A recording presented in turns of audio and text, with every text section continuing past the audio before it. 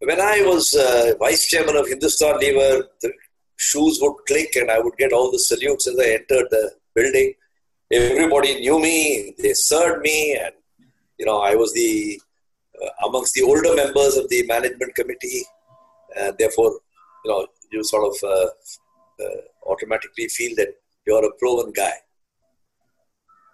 When I was entering uh, Bombay House 22 years ago, no heels clicked. Nobody knew who the hell you were.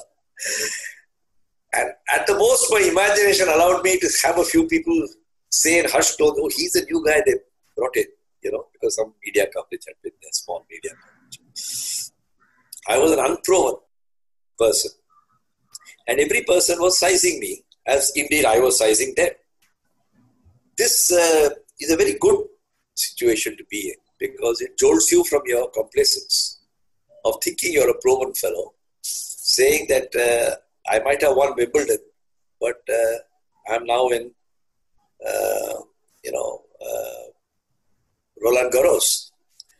And I think it brings a certain amount of humility that I may get knocked out in the second round. Mm. So this is the most important self-introspective thinking that must come. It doesn't come automatically because for 30 years you got used to being seen as a, you know, you become a general in the army. If you now go and take charge of the navy, one shouldn't assume that you're going to be successful. The second aspect that would come to me is to informally uh, adopt, not appoint, adopt some mentors. Some guys who are senior people or people in your interaction zone, whom you can go and chat with and who will give you, if uh, not a direct hint, at least a lateral hint that, uh, you know, this is not the way we do things here.